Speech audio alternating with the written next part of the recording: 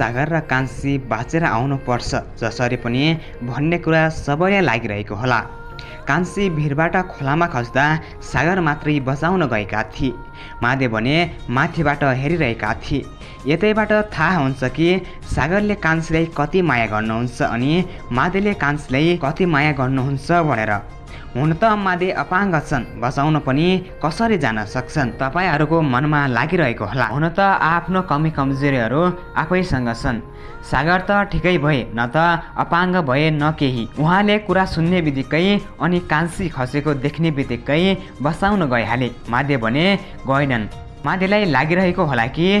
किन जाउँ? सागर सर गइसक्नु भएको छ। बसाएर ल्याइहाल्छन् भनेर उहाँले छोरीलाई ल्याएर आउँछन् होला। मादेले पनि अब कान्छीलाई कहिल्यै नछोड्ने भए ससुरालीमा छोडेर आएका भए कान्छीलाई त सुख हुन्थ्यो। कान्छीले आफ्नो पुरानो श्रीमानलाई पनि साथैमा लिएर आए। नलग भन्दा भन्दै पनि अब झन् कान्छीलाई नै दुःख हुने भयो। अलि थोरै चोट लाग्यो भने त ठिकै हो। अलि धेरै नै चोट लाग्यो भने त उहाँ हस्पिटलमा हुन्छन् अनि सागर र मादे भने कान्छीलाई सम्झिँदै रुन्छन् हुन त सानै खोला हो त्यति ठुलो चोट पनि नलाग्ला। सागर बसाउन गएका छन्। पक्कै पनि कान्छीलाई केही हुन दिँदैनन् होला। के थाहा धेरै चोट लागेर मादे र छोरीलाई घर जाऊ भनेर कान्छीलाई नजिकको हस्पिटलमा लगेर जान्छन् कि के गर्छन्? अब के होला त?